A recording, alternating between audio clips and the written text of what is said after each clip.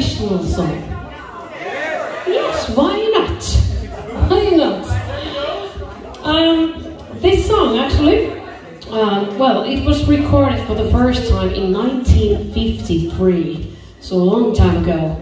And we have created our own version of this song, and uh, we would like you to sing along in the chorus. Yes, it's easy, I teach you, okay. It goes like this.